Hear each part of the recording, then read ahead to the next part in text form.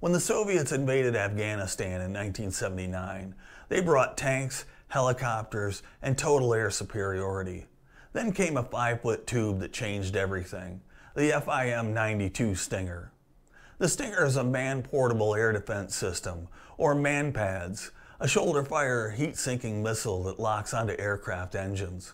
Once fired, it guides itself, leaving the operator free to move or hide.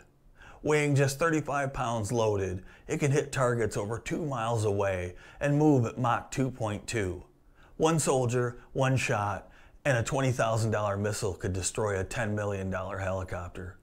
When the CIA began supplying stingers to Afghan mujahideen in 1986, Soviet pilots suddenly faced invisible death from below.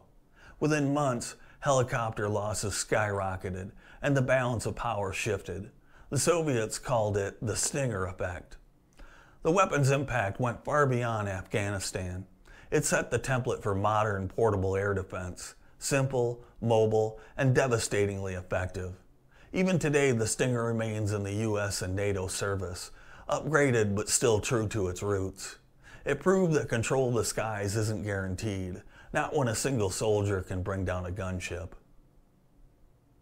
I'm Dave. Subscribe for more amazing military history.